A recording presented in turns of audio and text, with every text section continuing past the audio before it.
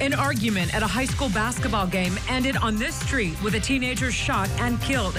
And tonight, there have been no arrests. It don't make no sense. What it was just a senseless killing. Now, new for five, an eyewitness news discovery brought investigators back to the scene today.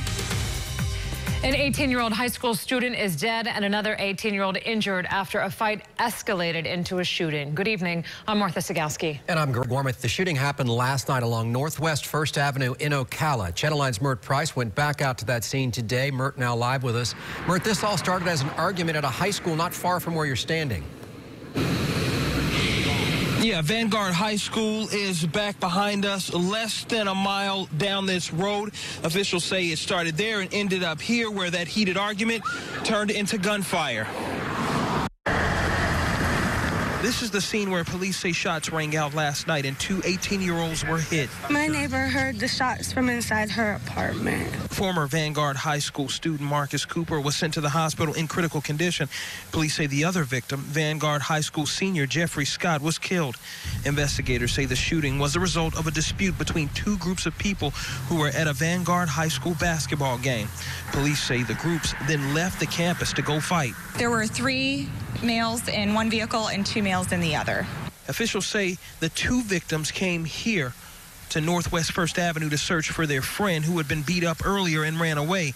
When the other group showed up, police say they all started fighting. During the fight, investigators say someone opened fire.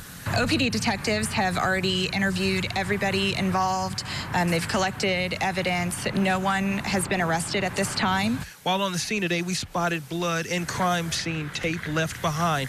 We also discovered this bullet. We called police to let them know about it.